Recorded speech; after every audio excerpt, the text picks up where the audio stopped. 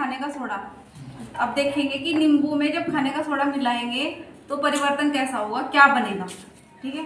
अभी तक मुझे भी नहीं पता, क्योंकि मैं भी पहली बार कर रही हूँ। देखते हैं क्या बनता है।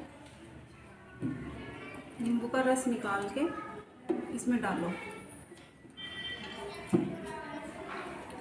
नया पदार्थ क्या बनेगा, है?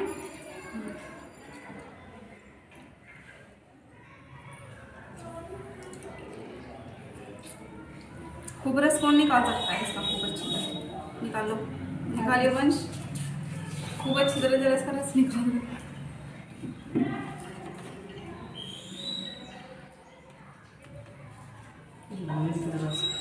हो गया? रस है, इसमें खाने का सोडा मिलाते हैं।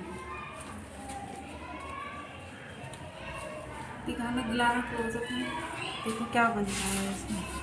खाने का सोडा मिलाया नींबू में। देखो क्या होगा। क्या हुआ? बबल्स बन गए ना कितने सारे? ये देखो ये ये देखो एक नया पता गरम है। क्या बन रहा है?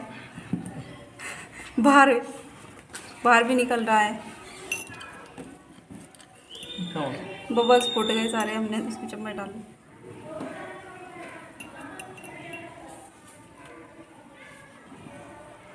बन गया ना कुछ नया पदार्थ?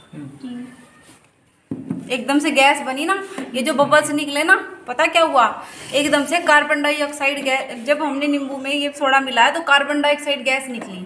जी। ठीक है? और इसमें क्या रह जाएगा? पानी वगैरह रह जाएगा और नीम थोड़ा सा नींबू का रस और ये साल्ट रह जाएगा।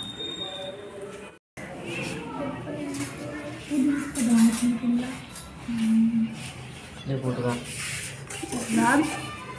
डालो नींबू का रस इसके ऊपर। ये ये उठ गए बबल्स